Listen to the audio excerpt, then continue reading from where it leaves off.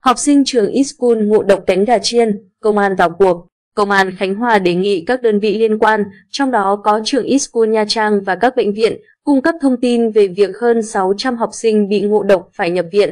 Trao đổi với phóng viên Vietnamnet sáng nay, Đại tá Đinh Thế Hùng, Giám đốc Công an tỉnh Khánh Hòa cho biết đã đề nghị Sở Y tế chỉ đạo các bệnh viện có học sinh trường Iskun Nha Trang tới cấp cứu do ngộ độc thực phẩm cung cấp thông tin, tài liệu liên quan để phục vụ điều tra.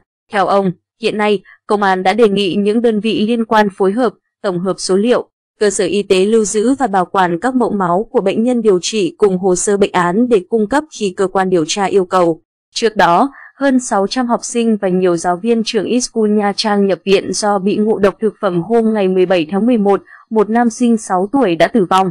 Theo phòng y tế Nha Trang, trường Iskun thuộc tập đoàn giáo dục Nguyễn Hoàng, ông Bùi Phúc Lam, 40 tuổi, đã ký hợp đồng với trường để tổ chức bếp ăn bán trú cho 930 học sinh và giáo viên, trong đó có 50 giáo viên.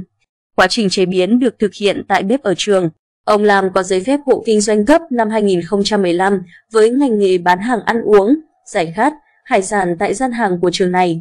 Trên đường Hai Bà Trưng, thành phố Nha Trang, ông cũng đưa ra giấy chứng nhận cơ sở đủ điều kiện an toàn thực phẩm do phòng y tế cấp lần 3 vào tháng 10 vừa qua. Viện Pasteur ở Nha Trang đã tiếp nhận 8 mẫu thực phẩm liên quan vụ ngộ độc thực phẩm tại trường do Trung tâm Y tế Nha Trang gửi. Kết quả xét nghiệm mẫu đã phát hiện vi khuẩn Salmonella trong mẫu cánh gà chiên, vi khuẩn Bacillus cereus trong mẫu cánh gà chiên và mẫu nước mắm. Chủng Bacillus cereus trong hai mẫu trên là chủng sinh độc tố ly giải hồng cầu và độc tố ruột không ly giải hồng cầu. Ngoài ra, phát hiện vi khuẩn Escherichia coli trong mẫu cánh gà chiên.